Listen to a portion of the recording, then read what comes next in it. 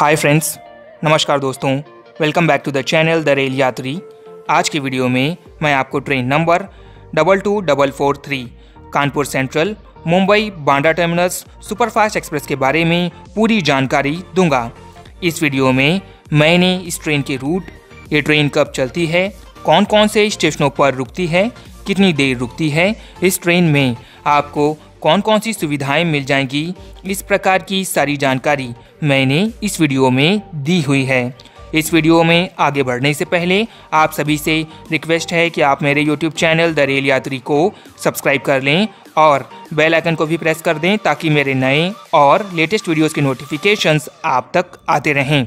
तो चलिए फ्रेंड्स, इस वीडियो में आगे बढ़ते हुए मैं आपको train number double two double four three Kanpur central, Mumbai Bandra terminus, superfast express के बारे में पूरी जानकारी देता हूँ। ये ट्रेन उत्तर प्रदेश के कानपुर सेंट्रल से महाराष्ट्र के बांद्रा टर्मिनस, मुंबई तक चलती है।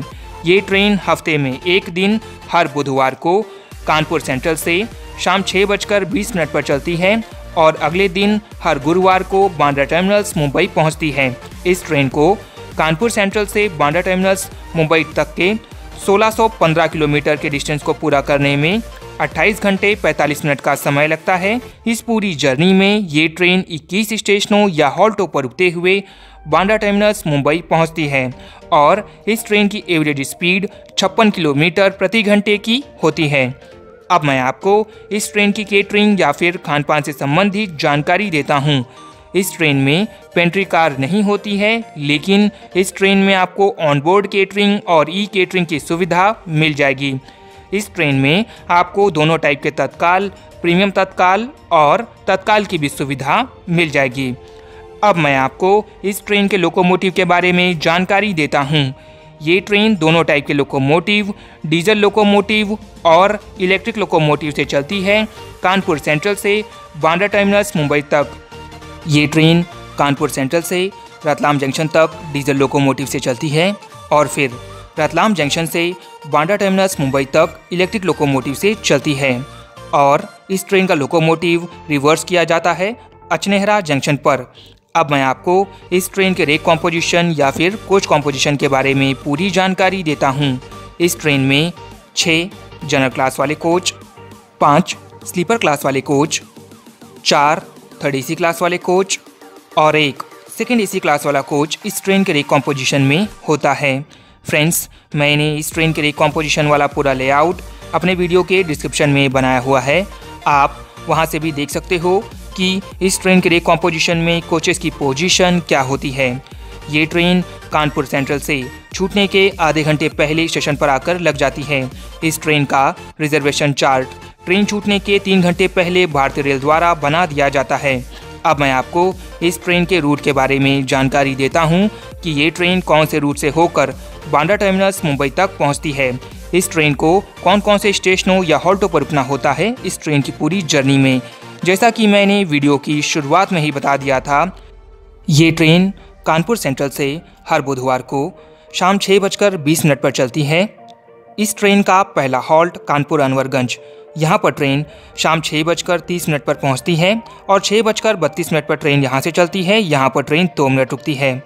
इस ट्रेन का दूसरा हॉल्ट कन्नौज, यहाँ पर ट्रेन शाम सात बजकर बत्तीस मिनट पर पहुँचती है और सात बजकर छत्तीस मिनट पर ट्रेन यहाँ से चलती है। यहाँ पर ट्रेन चार मिनट रुकती है। इस ट्रेन का तीसरा हॉल्ट फतेहगढ़, यहाँ पर ट्रेन रात आठ बजकर पैंतालीस मिनट पर पहुँचती है और आठ बजकर सैंतालीस मिनट पर ट्रेन यहाँ से चलती है। यहाँ पर ट्रेन दो मिनट रुकती है। इस ट्रेन का चौथा हॉल्ट, फरुखाबाद जंक्शन, यहाँ पर ट्रेन रात नौ बजकर दस मिनट पर पहुँचती है और नौ बजकर पंद्रह मिनट पर ट्रेन यहाँ से चलती है। यहाँ पर ट्रेन पाँच मिनट रुकती है। इस ट्रेन का पाँचवा हॉल्ट, कासगंज जंक्शन, यहाँ पर ट्रेन रात दस बजकर चालीस मिनट पर पहुँचती है और दस बजकर पचास मिनट पर ट्रेन यहाँ से चलती है। यहाँ पर ट्रेन दस मिनट रुकती है। इस ट्रेन का छठा हॉल्ट, हाथरस सिटी। यहाँ पर ट्रेन रात ग्यारह बजकर चालीस मिनट पर पहुँचती है और ग्यारह बजकर बयालीस मिनट पर ट्रेन यहाँ से चलती है। यहाँ पर ट्रेन दो मिनट रुकती है। इस ट्रेन का सातवां हॉल्ट मथुरा कैंट। यहाँ पर ट्रेन रात एक बजकर पाँच मिनट पर पहुँचती है और एक बजकर सात मिनट पर ट्रेन यहाँ से चलती है। यहाँ पर भी ट्रेन दो मिनट रुकती है। इस ट्रेन का आठवां हॉल्ट मथुरा जंक्शन। यहाँ पर ट्रेन रात एक बजकर बीस मिनट पर पहुँचती है और एक बजकर तीस मिनट पर ट्रेन यहाँ से चलती है। यहाँ पर ट्रेन दस मिनट रुकती है। इस ट्रेन का नवा हॉल्ट अछनेरा जंक्शन, यहाँ पर ट्रेन रात दो बजकर पैंतीस मिनट पर पहुँचती है और दो बजकर पैंतालीस मिनट पर ट्रेन यहाँ से चलती है, यहाँ पर भी ट्रेन दस मिनट रुकती है। इस ट्रेन का दसवां हॉल्ट भरतपुर जंक्शन, यहाँ पर ट्रेन रात तीन बजकर तीस मिनट पर पहुँचती है और तीन बजकर पैंतीस मिनट पर ट्रेन यहाँ से चलती है, यहाँ पर ट्रेन पाँच मिनट रुकती है। इस ट्रेन का ग्यारहवां हॉल्ट सवाई माधोपुर जंक्शन, यहाँ पर ट्रेन सुबह पाँच बजकर तिरालीस मिनट पर पहुँचती है और पाँच बजकर पैंतालीस मिनट पर ट्रेन यहाँ से चलती है, यहाँ पर ट्रेन दो मिनट रुकती है। इस ट्रेन का बारहवां हॉल्ट, कोटा जंक्शन, यहाँ पर ट्रेन सुबह सात बजकर पाँच मिनट पर पहुँचती है और सात बजकर पंद्रह मिनट पर ट्रेन यहाँ से चलती है, यहाँ पर ट्रेन दस मिनट रुकती है।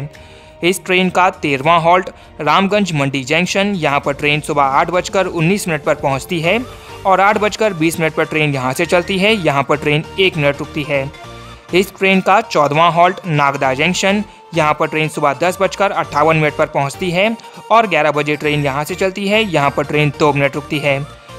इस ट्रेन का पंद्रवा हॉल्ट, रतलाम जंक्शन, यहाँ पर ट्रेन दिन में ग्यारह बजकर पैंतीस मिनट पर पहुँचती है और ग्यारह बजकर पचपन मिनट पर ट्रेन यहाँ से चलती है। यहाँ पर ट्रेन बीस मिनट रुकती है। यहाँ पर डीजल लोकोमोटिव हटाकर इलेक्ट्रिक लोकोमोटिव अटैच किया जाता है इस ट्रेन में। इस ट्रेन का सोलवा हॉल्ट गोधरा जंक्शन यहाँ पर ट्रेन दिन में दो बजकर पैंतालीस मिनट पर पहुँचती है और दो बजकर सैंतालीस मिनट पर ट्रेन यहाँ से चलती है। यहाँ पर ट्रेन दो मिनट रुकती है। इस ट्रेन का सत्रहवां हॉल्ट वडोदरा जंक्शन यहाँ पर ट्रेन दिन में चार बजकर पैंतीस मिनट पर पहुँचती है और चार बजकर पैंतालीस मिनट पर ट्रेन यहाँ से चलती है। यहाँ पर ट्रेन दस मिनट रुकती है। इस ट्रेन का अठारहवां हॉल्ट, भरूच जंक्शन, यहाँ पर ट्रेन शाम पाँच बजकर तैंतीस मिनट पर पहुँचती है और पाँच बजकर पैंतीस मिनट पर ट्रेन यहाँ से चलती है। यहाँ पर ट्रेन दो मिनट रुकती है। इस ट्रेन का उन्नीसवां हॉल्ट, सूरत, यहाँ पर ट्रेन शाम छः बजकर चालीस मिनट पर पहुँचती है और छः बजकर पैंतालीस मिनट पर ट्रेन यहाँ से चलती है। यहाँ पर ट्रेन पाँच मिनट रुकती है। इस ट्रेन का बीसवां हॉल्ट, वापी यहाँ पर ट्रेन रात आठ बजकर छः मिनट पर पहुँचती है और आठ बजकर आठ मिनट पर ट्रेन यहाँ से चलती है। यहाँ पर ट्रेन दो मिनट रुकती है। इस ट्रेन का इक्कीसवां हॉल्ट बोरीवली। यहाँ पर ट्रेन रात दस बजकर तेईस मिनट पर पहुँचती है और दस बजकर छब्बीस मिनट पर ट्रेन यहाँ से चलती है। यहाँ पर ट्रेन तीन मिनट रुकती है। इस ट्रेन का बाईसवां हॉल्ट बांद्रा टर्मिनस, मुंबई। यहाँ पर ट्रेन रात ग्यारह बजकर पाँच मिनट पर पहुँचती है। बांद्रा टर्मिनस, मुंबई। इस ट्रेन का डेस्टिनेशन हॉल्ट है, या फिर आप इसे अंतिम स्टेशन भी कह सकते हो। फ्रेंड्स, मैंने इस ट्रेन के किराए और किराए से संबंधित किसी भी प्रकार की कोई भी जानकारी इस वीडियो में नहीं दी है, क्योंकि जितने भी स्टेशनों या हॉल्टों पर रुकते हुए ये ट्रेन बांद्रा टर्मिनस मुंबई पहुँचती है, हर स्टेशन से अलग अलग टाइप का किराया होता है और बहुत सारी श्रेणियों में भी होता है। अगर मैं वो सारी जानकारी इस वीडियो में देता हूँ तो वीडियो बहुत लंबा हो जाएगा, इसीलिए मैंने वो जानकारी इस वीडियो में नहीं दी है।